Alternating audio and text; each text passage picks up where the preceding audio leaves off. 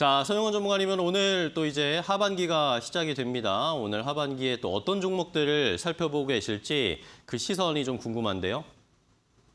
네, 오늘 제가 관심 있게 보고 있는 종목은요. 베셀이라는 종목을 좀 보고 있고요. 두 번째로는 텔레칩스, 그리고 세 번째는 한전기술, 그리고 마지막으로 현대로템 좀 보고 있습니다. 네. 자, 이렇게 네 가지 종목을 보고 계신데 그중에서 조금 더 자세하게 전략 좀 들려주실 수 있을까요? 어떤 종목 먼저 볼까요? 네, 우선 첫 번째로는 베셀이라는 종목을 좀 볼 수 있을 것 같은데요. 최근 바닥권에서 좀 횡보를 하면서 좀 거래량이 좀 들어오는 종목이다라고 볼 수 있겠습니다. 어, 베셀 같은 경우에는 디스플레이 제조 장비 쪽에 대한 것을 장비 생산도 하고 있고요. 그다음에 자동 조정 및 제어 장치 제품들을 좀 생산을 하고 있는 상황입니다.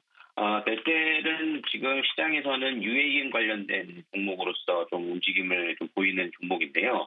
어, 자회사 중에 베셀 에어로스페이스에 대한 모멘텀을 좀 함께 좀 받는 모습들을 좀 보고 있습니다. 어, 국방부에서 드론 작전 사령부를 제정할 것이다라고 공포를 하면서 거기에 대한 수혜 기대감이 최근 들어서 좀 거래량으로 좀 들어오는 모습들이 나타나주고 있는 상황이고요. 어, 그리고 미국 조비 에어비에이션에서도 어, 이륙 이, 이 수직 이륙 착륙기 비행기에 대한 허가가 어, 승인되면서 이제 무인 항공기에 대한 관련된 모멘텀들이 계속해서 좀 성장세가 좀 이루어지고 있는 상황입니다. 어, 그에 비해서 주가는 좀 그동안 좀 조정을 많이 받은 모습인데요. 어, 상반기에 오히려 좀 조정을 좀 3월 때까지 받았고 2분기 이제 바닥을 좀 횡보하면서 좀 거래량이 좀 동반된 상태이기 때문에 하반기 성장에 대한 기대감과 함께 좀 살펴보실 수 있는 부분들은 충분히 있다라고 볼 수 있겠고 가격적 메리트를 좀 체크를 해보시면 좋을 것 같고요. 어, 두 번째 종목은 텔레칩스에 대해서 좀 말씀을 좀 드릴 수 있을 것 같은데요. 지금 텔레칩스 같은 경우에는 팹리스 반도체 기업이라고 좀 볼 수 있겠습니다. 어, 이쪽에서는 특히나 이제 모빌리티 쪽에 들어가는 인공지능 반도체 쪽이 좀 개발이 이루어지다 보니까 어, 자율주행 관련돼서 좀 모멘텀을 함께 좀 받는 모습들을 보여주고 있고요.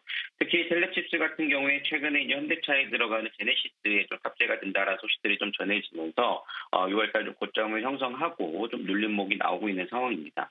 하지만 최근 들어서 이제 눌림목 저점 기간에서 외국인과 기관성 수급들이 좀 들어오는 점을 감안해 본다라면 재차 좀 추세적인 상승세는 이어질 수 있다라는 점을 감안해 보시고 어, 좀 접근해 보셔도 좋겠다라고 말씀을 좀 드리도록 하겠습니다.